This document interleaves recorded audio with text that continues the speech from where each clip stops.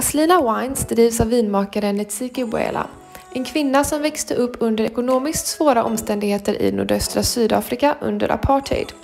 Efter många motgångar fick hon äntligen studera vinmakeri på universitetet i Stellenbosch. Men även om apartheid nu har upphört så dominerades fortfarande vinindustrin av vita män. Men Netsiki tog sig an utmaningen och spenderade sedan 12 år på en vingård i Stellenbosch innan det blev dags att ta steget mot sin stora dröm, att lansera sitt egna vin. 2016 lanserade hon sitt första egna vin under namnet Aslina, som är en hyllning till hennes mormor och blev då Sydafrikas första kvinnliga svarta vinmakare. Nu finns det första vinet från Aslina på Systembolaget. Ett vin som inte bara representerar det nya Sydafrika utan som också är ett avtryck fullt av förändring, kärlek, respekt och inspiration. Gör det som Nitsiki gillar att göra allra mest.